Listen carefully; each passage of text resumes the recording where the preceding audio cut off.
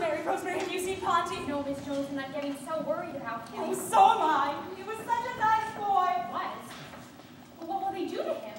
I don't know, but somebody's head just has to roll. Ponty,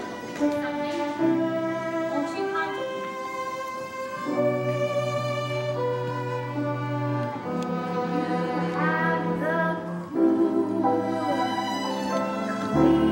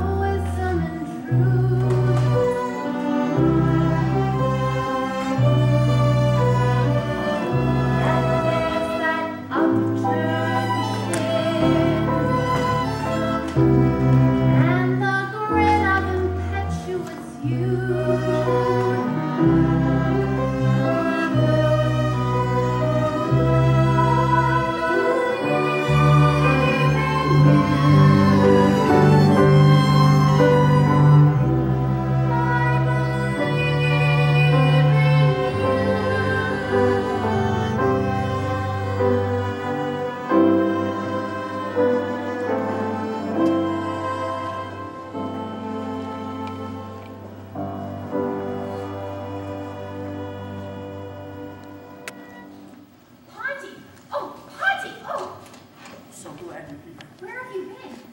Walking the streets, thinking. With the bruise on your head. It's fine. I got it last night. They threw me out of a saloon Why did they do that? because I didn't buy anything. How don't you go home? Oh, Rosemary, I've got to go in and face the music. Aha! Chairman of the board is in there, Ponty. I figured Well, that. what are you going to do? What does a man do when the world is collapsing around his ears? I'm just gonna take what's coming to me and go back to what I was doing before I came here. Well, what were you? You know, actually, I was a- an exterior decorator. See? I can't even tell the truth to you. I was a window washer. Oh, so what, Ponty? I don't care what you do. I'm sticking. I, I may have walked out on you once, but You did?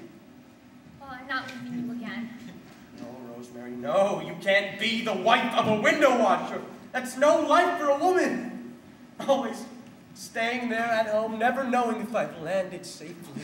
Listen to me, Finch. I don't. Finch! You're wanted in JB's office. I go wash up. They want you now. Can I say goodbye to Rosemary? God, Rosemary, goodbye. All right, that's enough. Rosemary! No, no, I wish none of this had ever happened.